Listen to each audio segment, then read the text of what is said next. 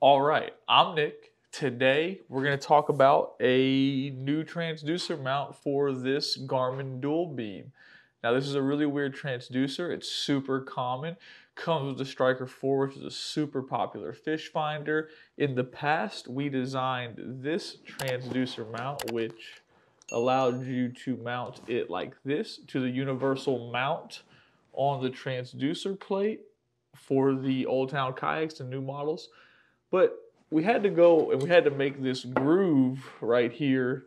And it kind of made this part weak. And we had a few guys break them. Not a lot of people, but we had a few guys break them. I'm talking five or six people. And that's a pretty small number. And it has a lifetime warranty, so that's no big deal. But I was never really a fan of it. It was a, a good solution for the short term, but I felt like it should be better. And if you guys know me, my goal every single day is to find a way to make the products better uh, for you guys, for me, for everybody. Doesn't matter what it is. I just feel like it should be as good as it could be, right? Uh, sometimes those solutions take time to think about, come up with a better plan. So the other day, I finally sat down. A gentleman named Nathan was nice enough to bring me this transducer down from Milton which is awesome. It is a lot easier to work on stuff when you have it in your hand. However, it's not smart for me to go out and buy every transducer that's ever been made, right? So he was nice enough to bring it down. Uh, he had been using one of these for a while. He actually uh, was unloading or loading his kayak and it slipped and it broke this off, right? It broke one of these pieces and needed another one.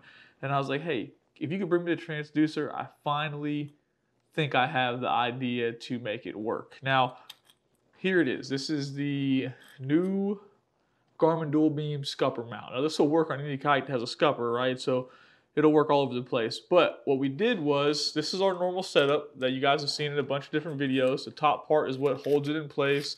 The wing nut allows you to tighten this down and secure it where you want it.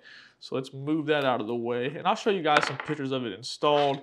Uh, it didn't rain all afternoon. I didn't feel like going outside and getting rained on to film me installing it. Obviously, I installed it to check. Uh, what we did was, and it'll come with all this hardware. It'll come with this through bolt right here, which is going to allow you to mount that. I'll show you in a second.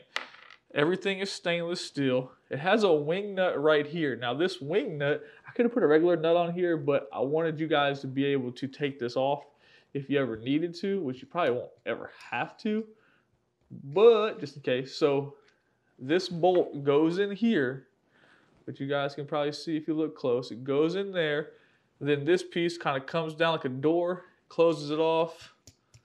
This will spin down, tightens in place. And all that does is hold the bolt into this apparatus. Now remember, the goal is this had to be small enough to fit in the scupper. So it took me a little while to come up with a plan that I was happy about and a way I could make it work without any issues. And then obviously this is round, it has a hole in it, and this bolt goes through there like so. So then you just line this up, super easy. Bolt goes through,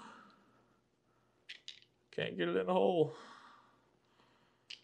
bolt goes through, and then you have a nylock nut. You just put this bad boy on here, and you tighten it down. Now, um, all you need is a Phillips head screwdriver, 3 8 inch wrench. That's loud. And then you'll be able to tighten this down and secure it at a 90 degree angle.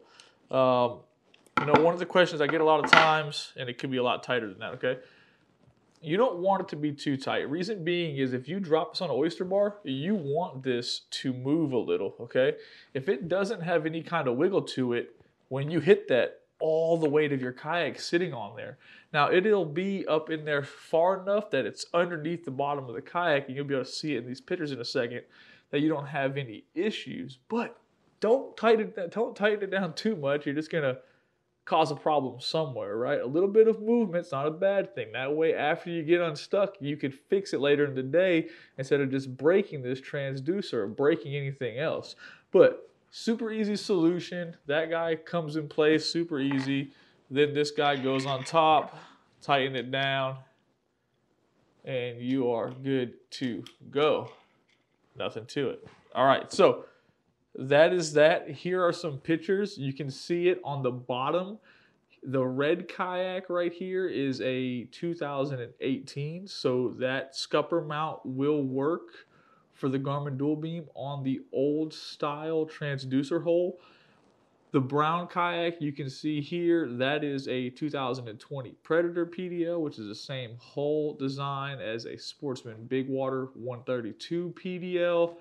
It'll work on your top waters. It'll work everywhere any of the other scupper mounts works. And it'll be up there flush, out of the way. The bottom of the kayak is actually lower than the mount, so you won't have any issues with that. If you guys do have any questions, let me know and we will uh, get those answered. You can email me, you can leave a comment below. Uh, we did have a giveaway in the last video and I will announce that the winner in the next video. I appreciate everyone watching. Uh, as long as you guys continue to watch and purchase these items and make suggestions, I will do my best to continue to make them better and we will continue producing them. And I greatly appreciate all of your guys' support. And that's that. Garmin dual beam scupper mount. We'll work on just about any kite that has a scupper. If you have questions, don't hesitate to reach out. Thanks for watching.